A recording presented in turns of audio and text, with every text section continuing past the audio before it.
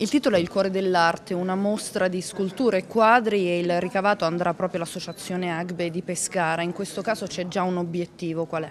Fino a poco tempo fa avevamo soltanto quattro bambini giornalmente a day ospite. Adesso abbiamo la media di 20 bambini al giorno, quindi abbiamo bisogno, abbiamo bisogno di appartamenti, abbiamo bisogno dell'aiuto di tutti. Quindi ecco, come dicevo, questo sogno è realizzare ancora tre appartamenti in modo da poter sostenere più adeguatamente tutte le famiglie. È il Comune di Pescara a partecipare a questa iniziativa di beneficenza, l'appuntamento è in uno dei luoghi simboli della città. Sì, il Circolo Aternino in piazza Garibaldi per sabato 25 alle ore 17.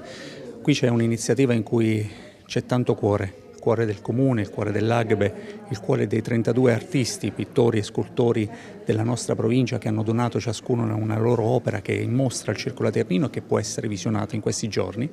Adesso manca un cuore, il cuore speciale dei pescaresi che devono venire, devono partecipare e devono fare delle offerte.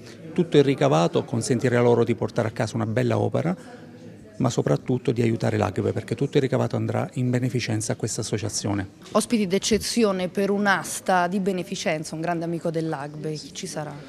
Ci sarà, signore e signori, Ugo Petina Dragotti, eccolo qua. Signore e signori, Marco Papa.